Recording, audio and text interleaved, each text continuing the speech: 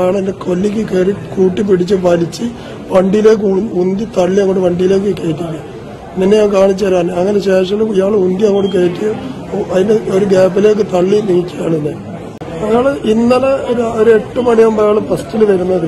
ഇന്നലെ ഇന്നലെ ഇന്നലത്തെ വരവിട്ടാണ് ഡെയിലി വരാറുണ്ട്. ഇന്നലെ അയാൾ വന്നപ്പോൾ ഞങ്ങൾ കട ഫുള്ള് ലൈറ്റ് ഫ്രണ്ട് ലൈറ്റ് ഒക്കെ ഓഫാക്കി ഞങ്ങൾ ഉള്ളിൽ നിന്ന് പാത്രം കഴുകുക. അപ്പൊ അയാൾ വന്ന് അനിയന് മുന്നേ നിന്ന് പാത്രം കേൾക്കണ്ടേ? ഞാൻ വയ്യിലുണ്ട് ഞാൻ പാത്രം കൊണ്ട് അയാൾ അനിയനെ വിളിച്ചു എത്ര മണി വരെ ടൈം വെച്ചു? അപ്പൊ ഏഴ് മണി പറഞ്ഞു സാറേ എന്റെ പെട്ടെന്ന് ഞങ്ങൾ ലൈറ്റ് ഒക്കെ ആക്കിയ ക്ലീനിങ്ങിലാണെന്ന് പറഞ്ഞു.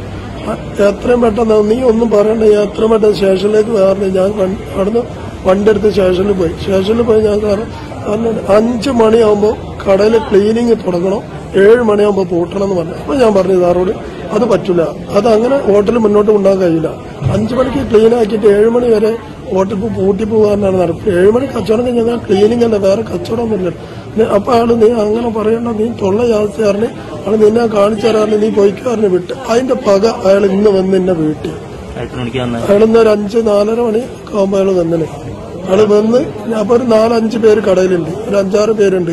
അഞ്ചു പേരുണ്ട് കടയിൽ ഇല്ല സീറ്റ് കസാലൊക്കെ മടക്കിയിട്ടല്ലേ? പിന്നെ അവിടെ ഡോക്ടറുള്ള കുറച്ച് ആൾക്കാർ അപ്പുറമുണ്ട് അതൊന്നും എനിക്ക് നീക്കാൻ കഴിയില്ലല്ലോ. ഇയാൾ വന്ന് എന്നോട് പറഞ്ഞ് കട പൂട്ടണം. നിന്നെ നീ കൊണ്ടുപോകാൻ ആളുണ്ടായിരുന്നു ഞാൻ പറഞ്ഞു സാർ എന്തിനാ കട പൂട്ടണം? ഇവിടെ കൂടുതൽ ആളുണ്ടോ? ചോദിച്ചപ്പോൾ അയാൾ എന്റെ കൊല്ലിക്ക് കയറി കൂട്ടി പിടിച്ച് വലിച്ച് വണ്ടിയിലേക്ക് ഉന്തി തള്ളി അങ്ങോട്ട് വണ്ടിയിലേക്ക് കയറ്റില്ല നിന്നെ ഞാൻ കാണിച്ചു തരാൻ. അങ്ങനെ ശേഷം ഇയാൾ ഉന്തി അങ്ങോട്ട് കയറ്റി അതിന്റെ ഒരു ഗ്യാപ്പിലേക്ക് തള്ളി നീക്കിയാണ് നീ അവിടെ പോയി നിൽക്കാൻ അപ്പൊ ഞാൻ മനക്ക് ഇങ്ങനെ താരതല ഞാൻ ചാരി ഇങ്ങനെ നിന്നപ്പോ പറഞ്ഞ് ചാരി നിൽക്കാൻ പറ്റില്ല ചാരി നിൽക്കണ്ട നീ എന്താ മെനിയാന്ന് വന്ന ആൾ എന്നോട് തെമ്മാടിത്തം ഫുള്ള് വിളിച്ച് പറഞ്ഞു കടയിൽ വന്നിട്ട്.